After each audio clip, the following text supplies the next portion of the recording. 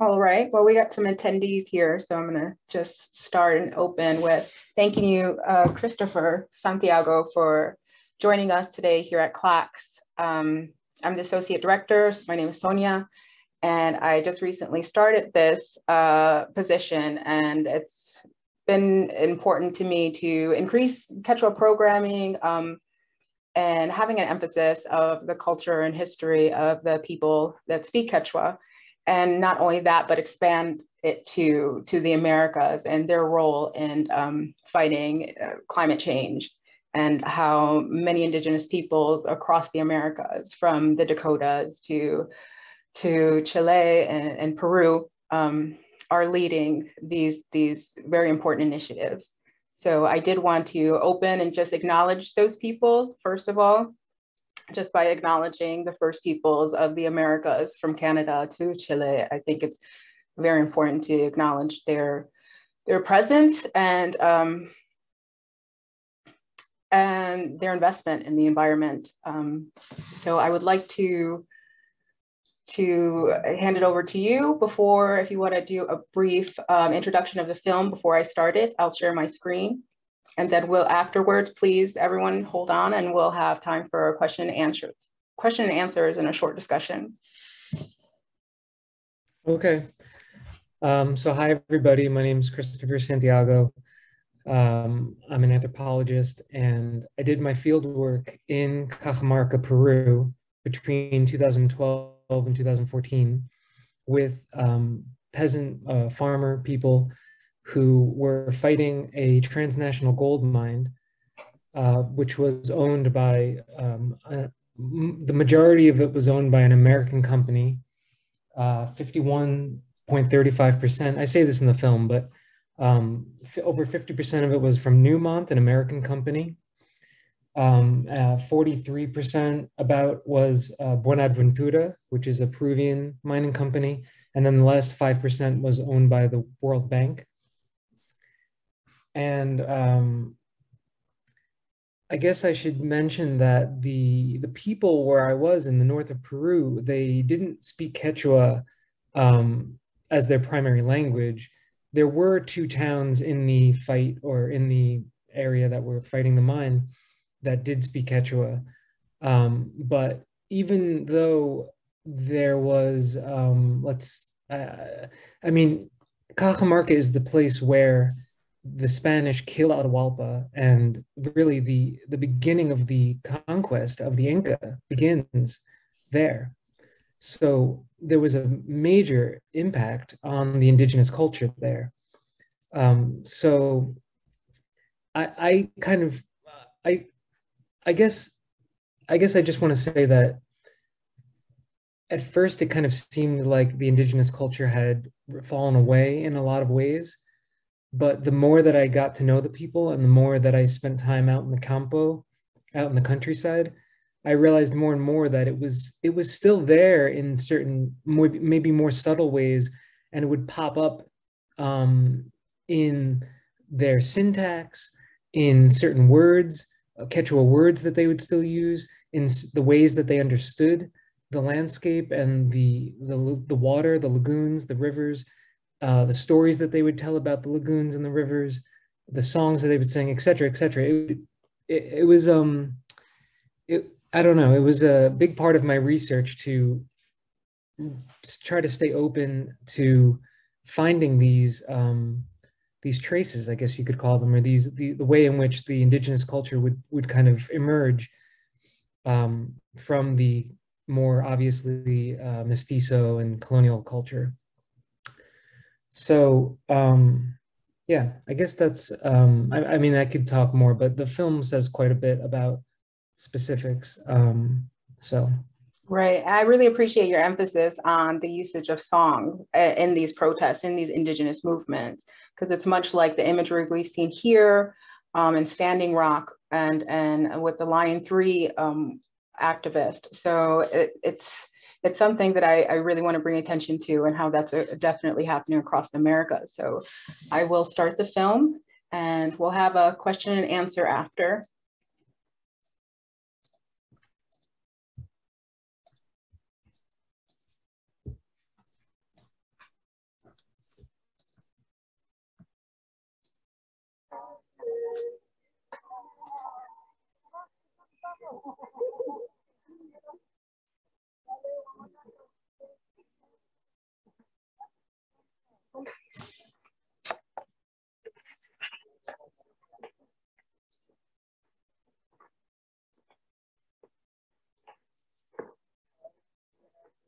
Para no meu palhar, está no meu palhar.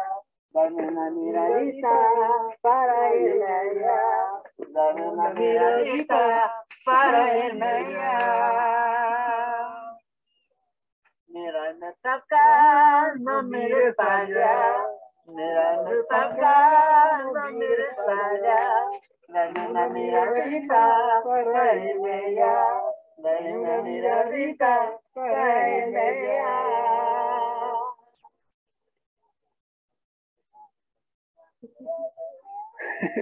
Nerva buenas pues señores, Nerva buenas pues señores, natura, natura.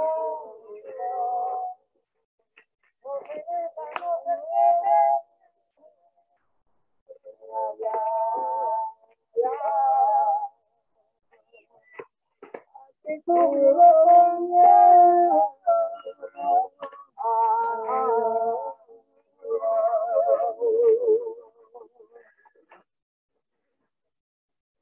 no puedo más. se pase, pase. Eh, como cantar, pase, pase, gringo. Estaba con grande cana de ese gringo. Sí. Ya amanece este día. Ay, porque amanece.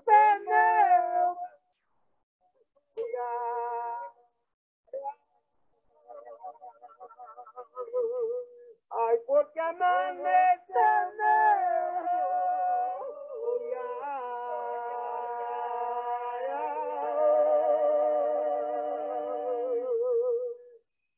No quiero ser conocido. Y que sepan los besos.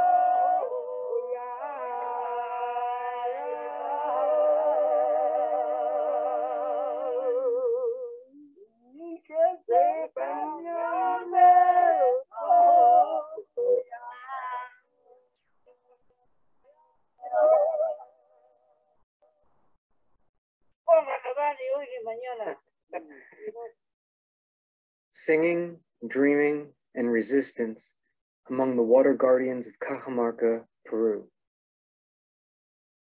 Ominous black mountains, dawn peaks over the horizon. My name is Christopher Santiago, and I must warn you that there are some disturbing images ahead. Seven water guardians holding vigil over the Mamacocha Lagoon. In November of 2011, the lucha or fight against Conga began. Conga will be the second largest gold mine in the world. Worth $4.8 billion, it is the largest investment in Peruvian history. Conga's shareholders include Newmont of Denver, Colorado, with 51.35%, the Peruvian company Buenaventura, with 43.65%, and the World Bank's IFC, with 5%. Conga will annihilate four highland lagoons, as well as rivers, streams, and wetlands composing the watersheds which sustain three provinces and tens of thousands of people. First to be destroyed will be the Perol Lagoon. It will be turned into an open pit two kilometers across and one kilometer deep. Hundreds of water guardians meeting at the Perol Lagoon. The earth excavated from Perol will be treated with cyanide and then deposited into the Azul Lagoon, transforming it into an enormous toxic dump. Conga is expected to produce an average of 90,000 tons of waste tailings per day, every day for 17 years.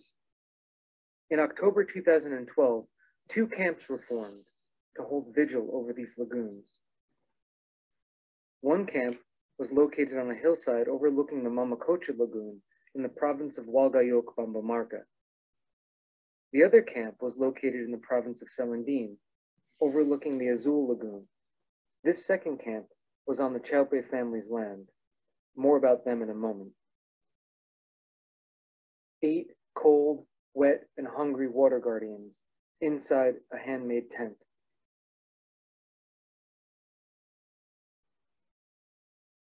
The flag of Celendín flying in the mist over the Celendín camp.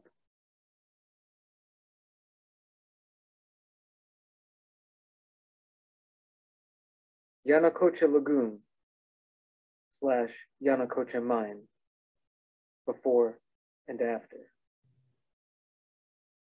Yanacocha Mine is 20 years old. The company took its name from the lagoon it devoured. The Conga mining project would be an expansion three times larger than Yanacocha.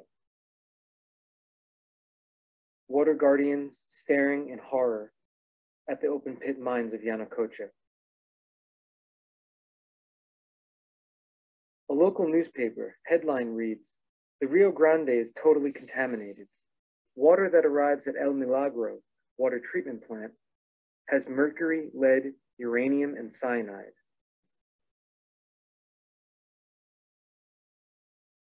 The Rio Grande is now an artificial river, un afluente industrial, flowing out of long black tubes from Yanacocha, which read agua ácida, or acid water.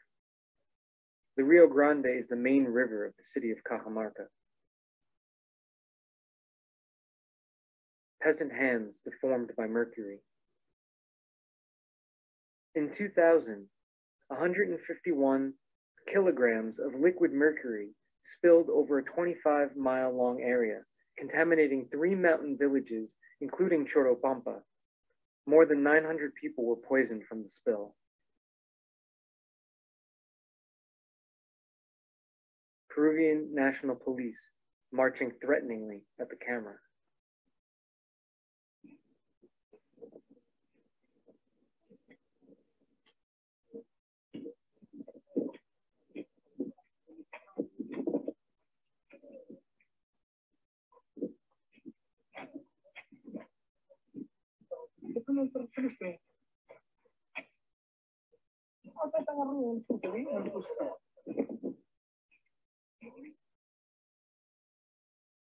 In Peru, it is legal for the police to be privately employed by the mining company.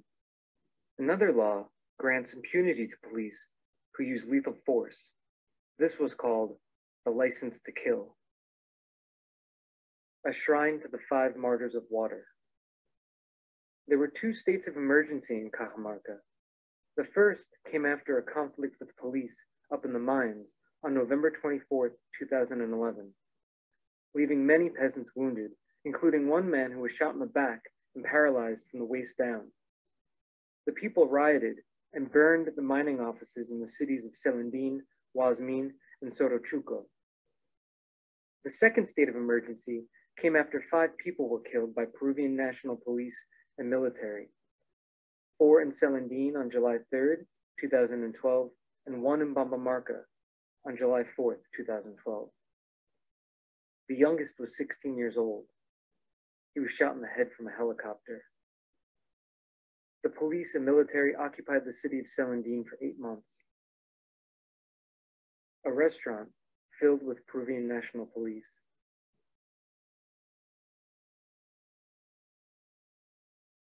Maxima Chaupe, standing before the Azul Lagoon, in her poncho and sombrero, her fist held high with dignity. I discovered that peasants fight with the weapons they have at their disposal music and dance, songs, stories, dreams, jokes, and divination by coca leaf.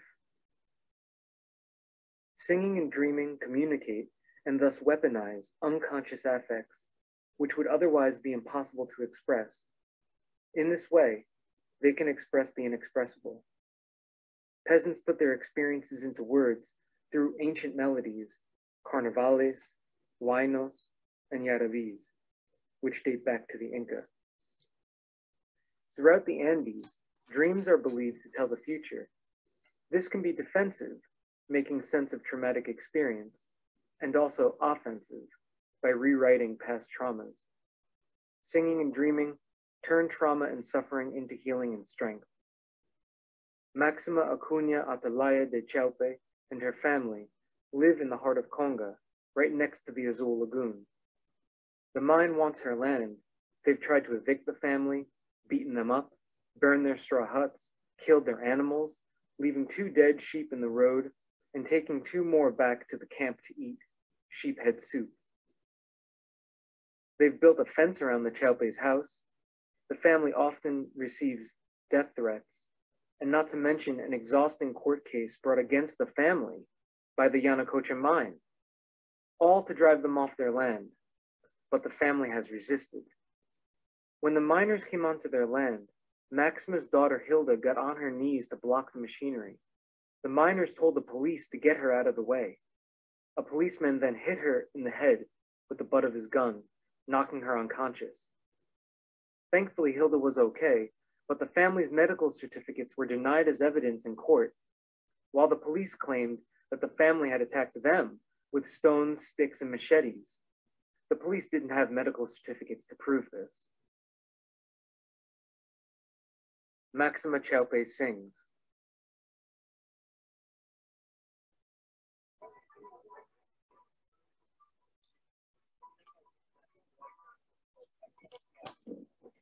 Yo soy una pequeñita, yo soy una pequeñita que vivo en las cordilleras, que vivo en las cordilleras. Paseando mis ovejas, paseando mis ovejas, en neblina y aguacero, en neblina y aguacero. Cuando mi perro ladraba, cuando mi perro ladraba, la policía llegaba, la policía llegaba. Mi chocita lo desataron, mi chocita lo desataron, mis cositas lo llevaron, mis cositas lo llevaron. Ingenieros policías, ingenieros policías, me robaron mis ovejas, me robaron mis ovejas. Cal de cabeza tomaron, cal de cabeza tomaron. En el campamento de Conga, en el campamento de Conga. Camita yo no tenía, camita yo no tenía, con pajitas me cubría, con pajitas me cubría. Comidita no comía, comidita no comía, solo agüita yo tomaba, solo agüita yo tomaba. Por defender mis lagunas, por defender mis lagunas, me atacaron a balazos, me atacaron a balazos. La vida lo voy a perder, la vida lo voy a perder por defender mis lagunas, por defender mis lagunas. The I endings are traces of Quechua in her Spanish, what some Peruvians call the barbarism. Maxima said that she did not sing before the trouble. It was these traumatic events that led her to start singing. One time, Maxima came to Cajamarca to tell her lawyer that in the night she'd been shot at. Maxima's lawyer told me that the police had been watching the peasant camp and saw that the men had gone down the mountain. Nobody except Maxima and four women remained. They heard shots, and the women were scared. They wanted to run for it. They didn't know what to do, and a few of them began to cry. Then Maxima said, No, don't run, compañeras. We are strong. Moreover, God accompanies us, and we are going to sing. Let's sing. At first, they heard the bullets, but as the songs became stronger, they forgot about the bullets and began only to enjoy the song. Maxima said, Compañera, sing! And we took each other by the hands and we sang, and the bullets sounded. The lawyer admitted it was something when she told it. It left me, ah, we cried. Very strong, no? Truly, we were so moved, so touched. Senora Santos sings holding a photograph of her son who was killed by the police.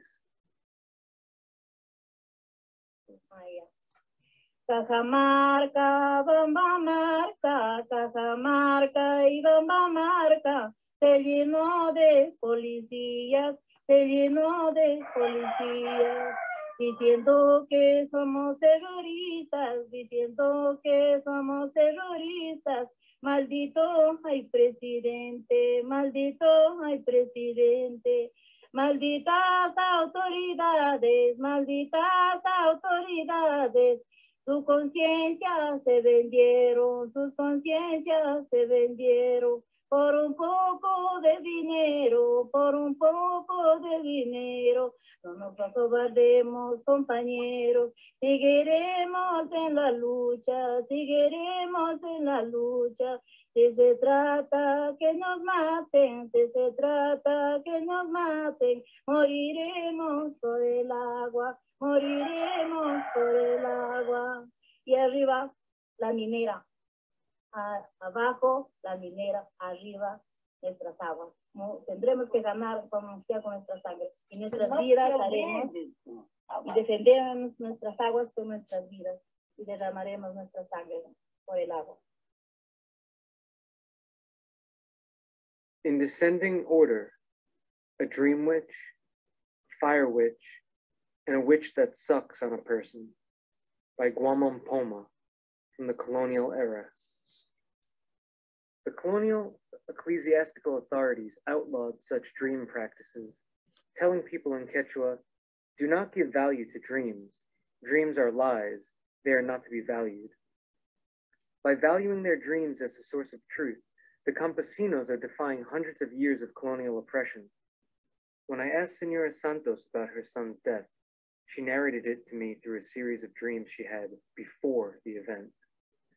When the protests started, Senora Santos dreamed that a moto taxi was passing by a cornfield. This moto had a stick jutting out, and as it passed, it rolled up all the corn that was flowering. This leads to the chilling phrase, quote, it swept up everything. She initially interprets this dream as a sign that they will win the fight, but there is an inkling of what is to come, quote, it sure did dry them all up, and they fell, all of them. The corn is, quote, all old, all broken, all dry. The second dream she again misinterprets.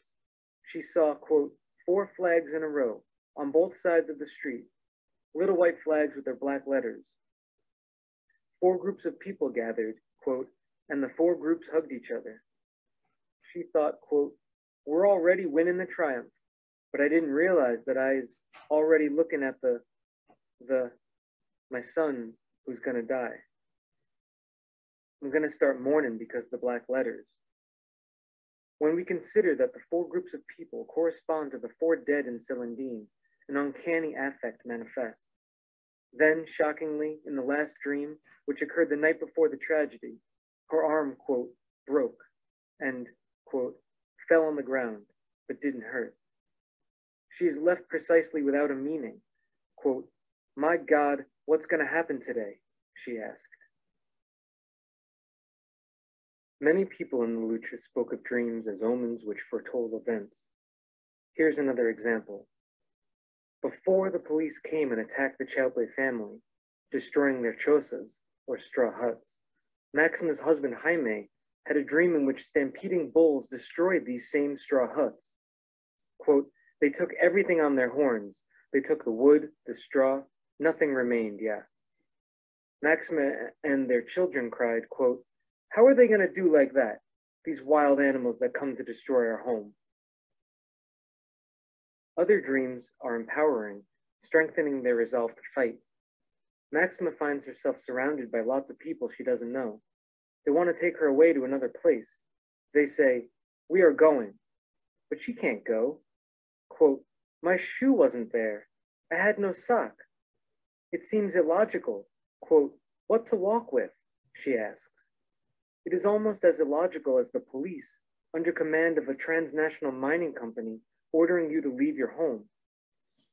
Now the encounter with the police appears as a game, emphasizing the sense of unreality of the events. A mob of people hold Maxima by her arms, just as the police did. This could be read as a trace of the traumatic experience repeating in her unconscious, but not exactly. It is precisely her force, which keeps this dream from being simply a compulsive repetition. An inner alchemy enables Maxima to transform the experience and rewrite history. In her dream, she wins. Quote, they shook me, but I didn't let myself play. In games, I beat them. Consequently, I hear a youth say, the senora has so much force because really she has beat me. He orders another person to hold her, but that's when Maxima, in her own words, quote, made force. I caught the hand of the boy, and what way? I caught the two little fingers of the left hand and I tore them off. One time I asked Maxima, Do you believe that dreams come true? She answered, Yes, in my dreams that I have, it would be very occasional that perhaps it has not coincided. Otherwise, what I dream comes out exactly. It coincides. Some people who don't know me, who don't believe me, they said to me, No, the dream is a lie. It lies. They say, No reality comes of it. But for me, yes. As of today, the lagoons of Conga still exist, thanks to the efforts of my friends, the guardians of the lagoons. Thanks, everyone. Conga no va carajo.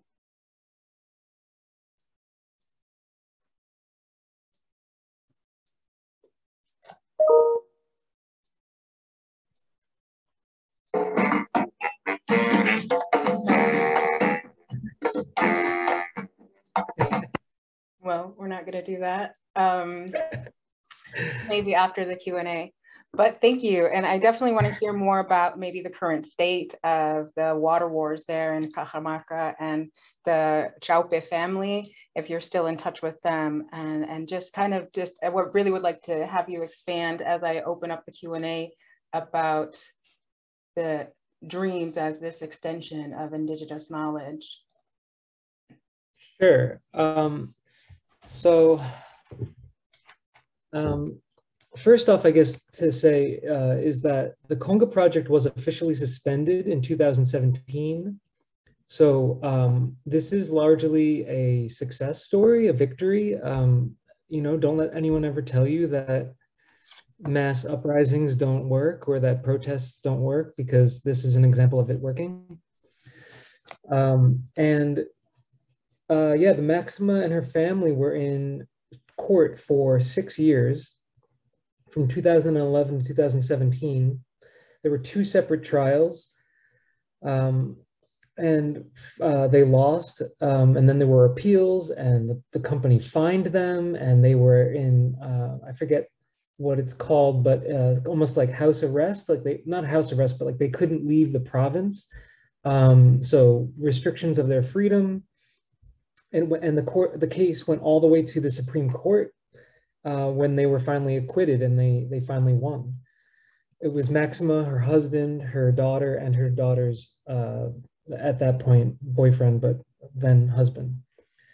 So um, that's that's important. I'll say. Um, I guess I also want to mention uh, something that my Quechua professor at NYU, uh, Odi Gonzales, said to me that I keep thinking about, and this idea that the the the conquistadors' language or the Spanish language being insufficient to express what people are feeling or what people are going through or the trauma that they're have have have, have had experienced. So the singing and the dreaming um, kind of allows for that expression. That's why I say in the video that allows for the expression of what's inexpressible, because um, I, I, think that I needed to kind of give you a little more background for what that means to me or to them. Um, so one way in which that, um, what that means is that Spanish is insufficient, let's say, to express certain um, certain experiences of the pe- of the peasant people. Um, uh, I guess another another idea is that the the dreaming is both a way to rewrite history, like in the one dream that I tell you about, where Maxima is dreaming about being surrounded and beaten up again. And yet in this dream, she turns it around on the aggressors and she rips their fingers off. I mean, she beat, you know, she she beats them. Um, which is yeah, so wonderful, honestly. And the other um, way to think about this is that these are emergent futures, right? So you can also it's there's a rewriting of the past, but also the possibility of emergent futures. It's not that they necessarily exactly tell what's going to happen, but that they kind of give a person a warning or they give a person a sense that something is coming. And you don't always know still. They, I mean, in the, in the dreams of Senora Santos, she was thinking that it was a good sign at first. She thought that these dreams meant that they were going to win. And they did win eventually, but she didn't really realize at first that these dreams meant that her son was going to die. And I think that there's a way in which the dreams, because the, this is a dreaming culture, a culture of dreams, people take dreams seriously in the Andes. They they remember their dreams, they hold on to them. And if a coincidence happens in the future, then they go back to that dream and they say, "Oh, that's what this means. That's what this that dream meant." So there's a way in which the dream is kind of held open. Its its signification or its its interpretation is held open into the future until a coincidence occurs. And then they kind of retroactively understand the dream in terms of that coincidence. So that is a, a kind of a technical way to explain how dreams can tell the future. Um, and I guess the only other thing I wanted to mention is that um, Maxima's when when when she says her force, right? She she kind of conjures this force in her dreams and she fights off the assailants. Um, I didn't know this then, but through my readings of Andean culture, for instance, uh, Catherine Allen writes about something she calls Sami, which is she translates as an animating essence or um, an kind of inherent internally generated liveliness or power uh, you could think of it as like a spirit power. Um, she also says that it's a kind of a genius or joyous, ebullient spirit. And I think that that is what is being conjured in these songs and these dreams, in often at least. Um, so she she also says that it's particularly singers that have this ability to, um, or have this sami, have this kind of uh, spirit power so um, yeah, I, it, if there's questions or or anything else that people want to talk about, um, I can go into more detail about things. Yeah, feel free to submit your questions to the Q&A at the bottom of the chat or um, use the chat feature if you're able to. Um, I did want to ask you uh, one thing about um, the community that you work with. And it's so good to hear this as a story of hope, because that's what we need right now, especially given the water wars that are happening in Canada to all over um, and, and, the Southwest here. Um, I'm just wondering what was their reaction or comment given that the Conga mines were owned mainly by Newmont in, in Colorado? Um, they were very angry at the transnationals, as they called them. Um, and they would say that this is nothing new because the they, they would connect it right back to the original conquest. And they'd say, the foreigners already came and stole our gold. Uh, we're not going to let it happen again. Um, that's how people would would connect this the current situation to this history of conquest. And I think that there's a way in which uh, values get flipped on their head. What, what most people think of as progress, right? Money, gold, um, natural resources, uh, these become a curse. And this is another idea that I get from Odi Gonzales, um, that these things like natural gas, oil, uh, water in terms of hydroelectric dams, um, gold, that these are supposed to bring progress. They're supposed to bring well-being, education, good health, but they end up bringing the opposite.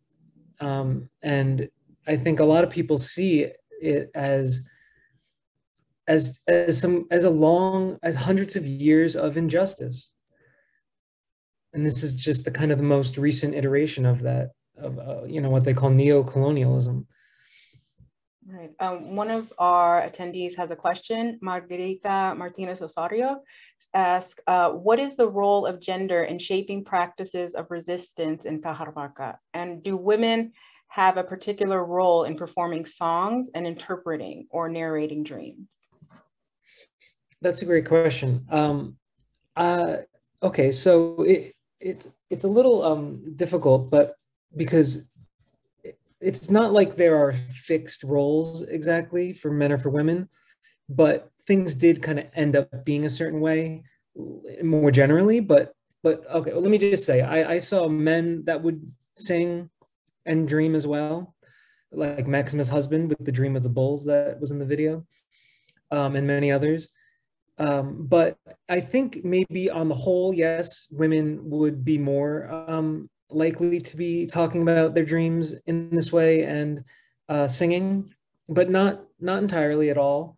Um, and the women played a really crucial role. And I, I, it's actually it's interesting to me because the resistance movement and the fight against the mine actually sparked more freedom for the women because um, it is a traditional place. It is a Catholic uh, and Protestant to some degree place, and it wouldn't be weird to hear that women weren't allowed out to go to the protests if their husband, you know, didn't want them to.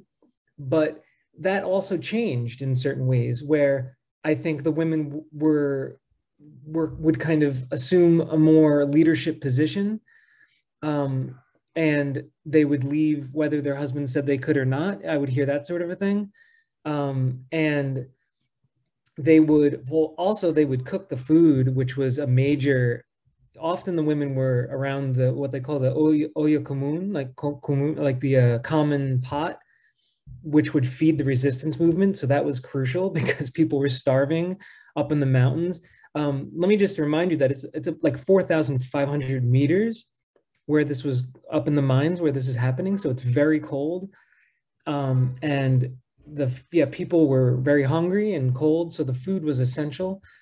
And the women would also um, lead the chants often.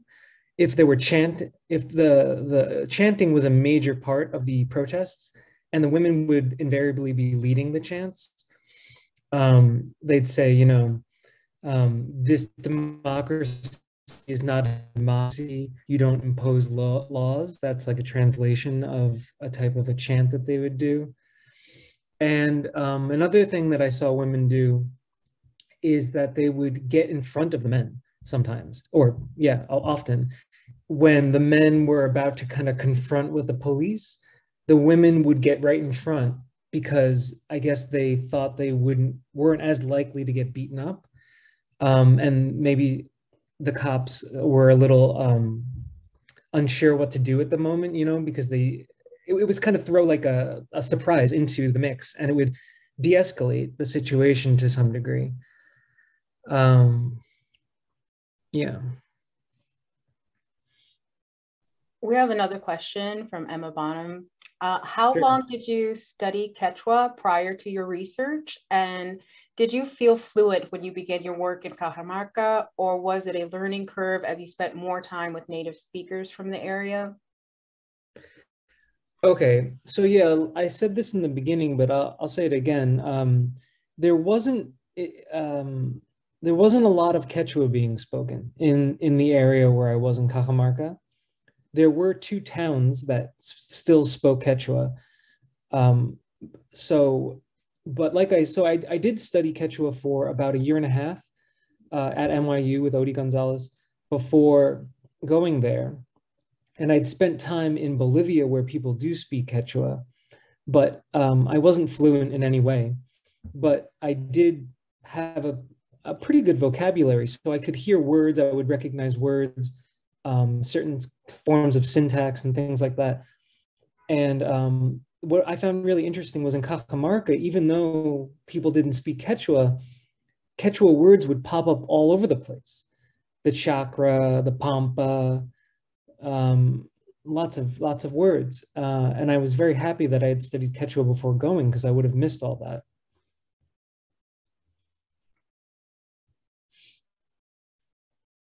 Uh, also in the singing, if you if you remember, if you go back and listen to the song that Maxima sings, she says things like um, "toma bai" instead of "tomaba." Like instead of saying that they took her stuff, she adds this "i" ending to the end of the word.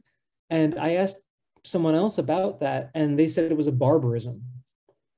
Uh, which I guess you know that was a pretty racist comment, but um, that's that's what you find in Peru. A lot of people are racist. A lot of people are either ashamed of the indigenous culture or they shame other people for being indigenous or even just having traces of being indigenous, like I'm saying. Um, so a lot of the struggle was about trying to reaffirm the indigenous and campesino culture.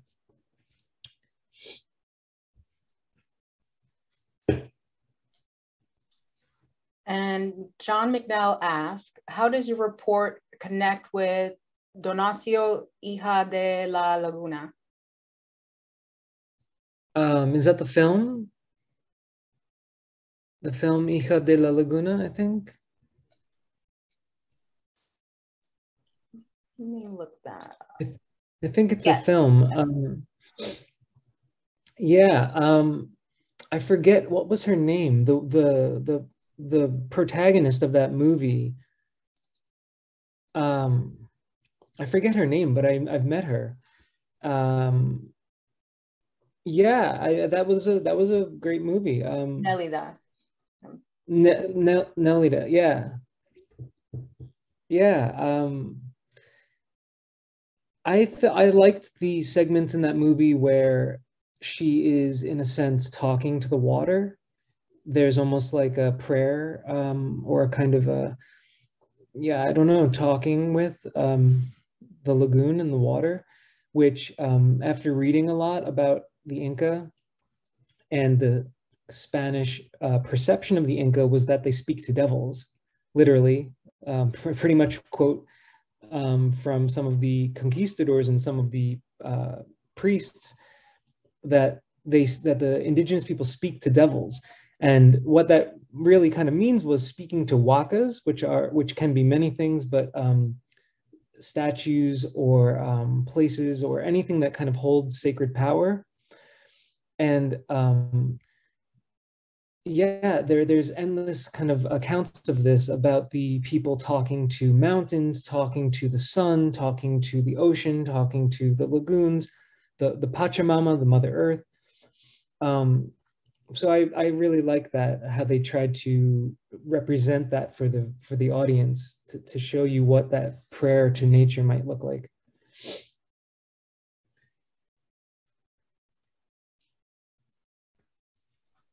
do you have plans on returning to peru um, well this is actually a kind of a sore subject um, i'm actually banned from the country oh that's let's hear about that yeah, so um, I got detained for being in a protest with a sign that said, uh, water is sacred. I know, terrible, right? Terrible message to be sending. And they, uh, I was also up in the camps the night before, and the police had destroyed the camps that night. So I was in one of the camps right before it got destroyed. And the people that were in the camp came down and were marching in the streets and protesting and very pissed off and uh, doing media um, kind of events, you know, talking to the cameras and stuff. And uh, there was a roadblock. They were blocking the road for, um, so the mining company couldn't get through. And they were literally rolling large rocks, like almost boulders, into the road. And I tossed a, seriously like a pebble underhanded it into the blockade and uh, they happened to get me on camera. So the next morning, I'm eating food in the market, and I get surrounded by cops. They take me to the to the police station. They're questioning me. They want to know who I know, what I'm doing there. I keep telling them I'm a tourist, and then uh, they they kind of like uh, buying that for a while, and then all of a sudden they say, "Oh yeah, you're a tourist. Well, who's that?" And they point over to a TV and they have me on camera, and I'm like underhanding this little pebble, and I'm like, uh, "I guess they're like, is that your doppelganger?" And I'm like, uh, "I guess you got me." So, and then another interesting moment was when one of these police officers was questioning me and questioning me and wanted to know everything, and I he says, "You know, are you with the people against the mine?" And I was like, "No, I'm not with the people. I don't know them, but." Personally, I am against the mine and I said, What about you? And he looked around to see if any of the cops were listening. And he said, Me too. And he shook my hand. so um, there was a lot of weird back and forth between perspectives. I mean, the, the, the, locals would often say to the cops, they would, like Senora Santos specifically, I remember her yelling at the cops saying, You are children of peasants, you're children of campesinos. What are you doing? Why are you doing this? You don't know who you are. You don't have, you know, don't you use water? don't you wash? Don't you, you know, make, don't you drink water? It, it's this kind of absurdity that that they would really uh, zero in on. I thought it was kind of an indigenous critique or, you know, a local critique that was really spot on.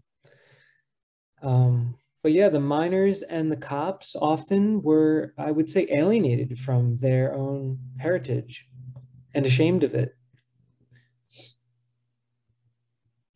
Right, absolutely, and and that is something we're seeing um, transnationally. Is this water is life message, right? It, it seems so um, inherent to to our our rights, but but yet it gets denied. Um, I wanted to turn your attention to um, our director here at CLACS. He wanted to, he's running the recording on the other screen. So he wanted to know about your filmmaking process and if you set out to make a film uh, or did you develop it after the fact? Okay, well, it's funny because I was I became very close with uh, a Peruvian who was from Lima, but I, I meant to thank him actually. I should say that now Alec, his name is Alexander Luna. He took um, the, the, the really high quality video of of Maxima that you saw, and the photo of her with her arm up, which is so iconic and amazing. He took that photo. Um, I was with him. I was sitting right next to him when he filmed her singing, and I have my own lo-fi quality, but uh, video. But um, so he was making a film, and uh, I was kind of just documenting things. I was taking short videos of people when they would sing songs, uh, when they would tell about dreams and other sorts of stories and things like that. Um, and I wasn't planning to make a film, but then uh, last year with the pandemic, the AAA was virtual and they were asking for for videos and stuff. So I that's why if you notice, I'm kind of giving captions, like I'm, I'm describing the images, that's because they told me to do that for uh, hearing impaired and and um, other other people that might want that. So um, that's why it's like that. But yeah, um, the videos were so powerful. That first video that you see, that you hear, the it's it's kind of dawn. It's it's like a very dark video. The fir very first video, that I'm so glad I filmed that because that was kind of a um, like a magical kind of a moment for me. It was literally dawn in the camps. Um, I was walking from tent to tent because I was hearing everyone singing uh, in all the different tents. It wasn't it wasn't synchronized. You know, no one was kind of orchestrating this. People were just waking up, or, or the, maybe they'd been awake all night long because the cops were not very far away and they were, you know, right there. So uh, people were awake and vigilant, and they were chewing coca uh, drinking cañazo, smoking cigarettes, passing it all around. And finally, the dawn came, and I just started, along with the birds singing, I was hearing the people singing as they were waking up. And I just, it, it was so, um, so magical. I don't know how else to describe it. And I would walk from different tent to tent, and they invited me in. They were like, they're like, oh, gringo, come on in. You know, they, they're so inviting. I can't tell you how warm and inviting these people were. Um, they let me kind of right in. Some of them would be like, "Are you with the mine?" You know, they they were. Some of them were were skeptical, but I don't. I guess I won them over. I don't. I don't really know, but they were so open and so inviting. Um, I just yeah, I, I want to say that too. Very very. They really know what hospitality means. so yeah, I didn't set out to make a film. I uh, I'm planning on writing my book. Honestly, that's what I want to get back to. But I want to use a lot of images, um, photographs, and descriptions of some of these films and, and the songs and stuff. But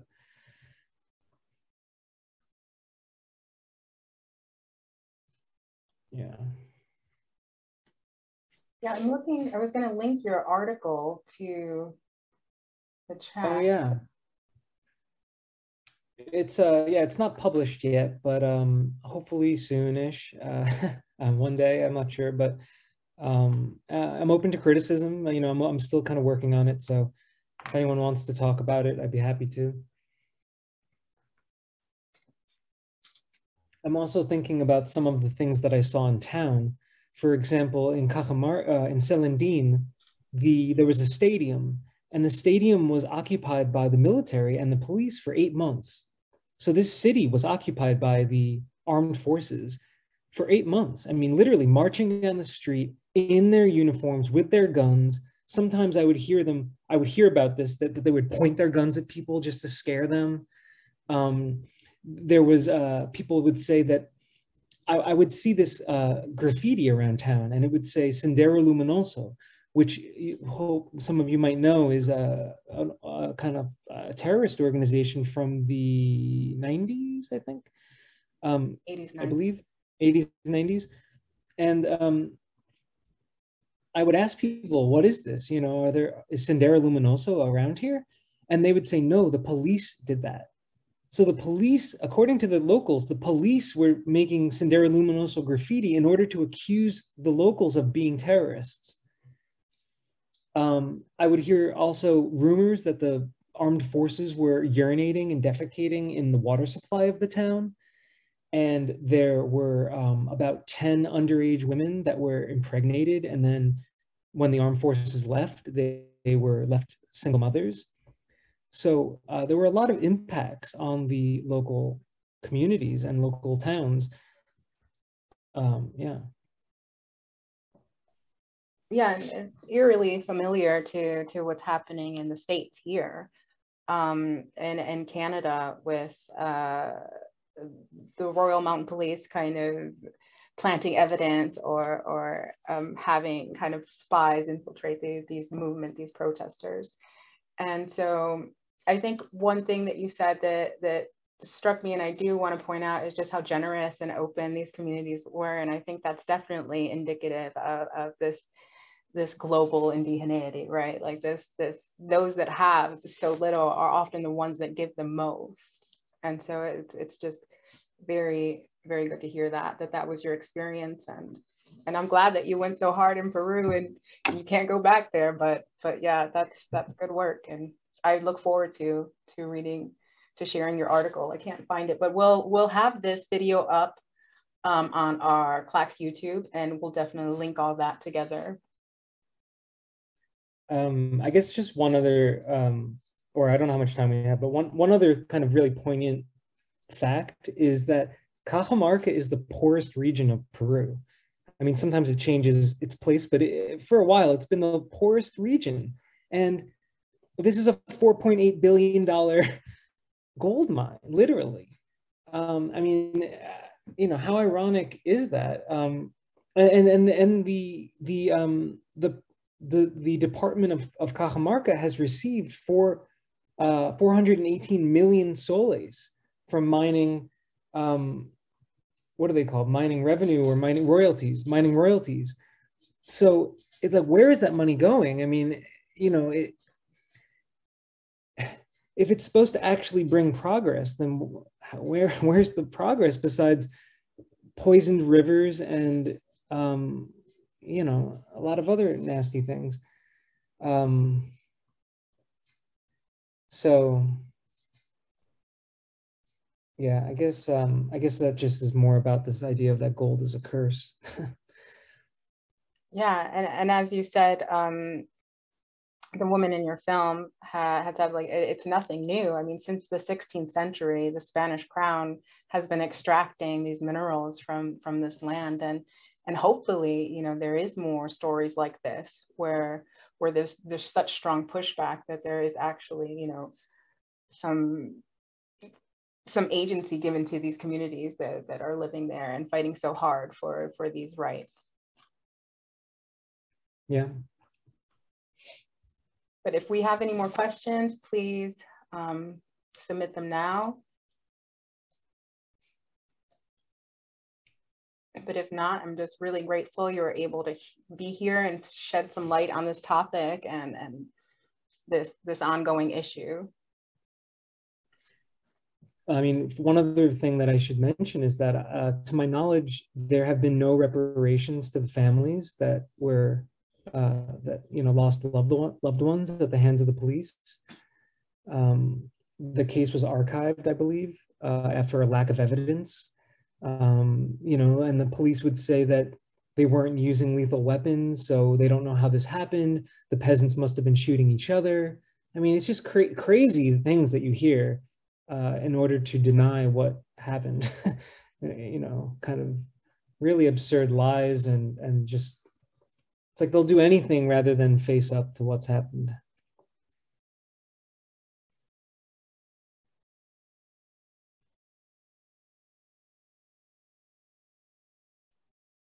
Yeah, I was really drawn to your film and uh, just because of my own experience with Quechua and learning, like that, that's how I learned Quechua is through these songs, the repetition, the melodies, the cadence, like that, that's what kind of helped so much. And, and I could definitely see even these communities that aren't fluent or, or first language Quechua speakers kind of borrow these traditions and these songs, especially in times of resistance. So I am very happy to to read your article and and to hear you discuss that. Yeah, I don't know if you know um, Arguedas, the the ethno ethnographer and literary figure, um, but he has a great he he has a book about Quechua songs, and in the introduction he says that um, he believes that that Quechua can go beyond Castellano in the expression of sentiments that are that most characterize the indigenous heart tenderness affection and the love of nature. And he says quechua expresses all this the all the emotions with equal or better intensity than spanish. So yeah there's something really effective something really moving um, and intense about listening to these songs.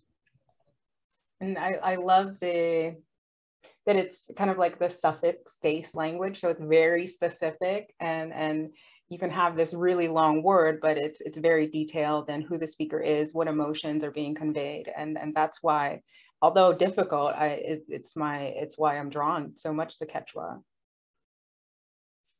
Yeah.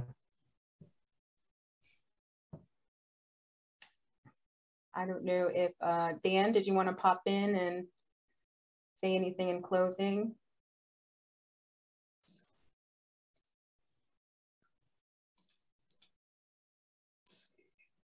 Sorry, hold on one second. Oh, by the way, this is a sombrero. Everyone in in Cajamarca would have a hat like this. These are handmade, woven very, very fine so that water can barely get through. Um, they're really great hats. That's beautiful. Uh, uh, um, thank you so much for uh, sharing your film and your observations and for that interesting dialogue with Sonia. And uh, thanks to everybody who was able to come this evening or if you're watching this video after the fact on YouTube. So uh, we really appreciate your participation and we look forward to uh, talking more in the future in person or virtually or however we're able to get together. So thanks everybody very much and, and good night.